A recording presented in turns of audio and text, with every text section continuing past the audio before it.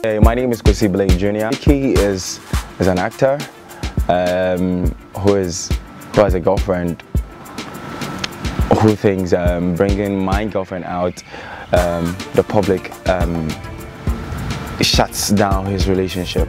Because anytime he tries to put his girlfriend out there the public shuts it down. Because you find out that the girl he brings out has a secret. So then he ends up divorcing or um, breaking up with the girl. Uh, and it's all about 24th of December, Christmas Eve.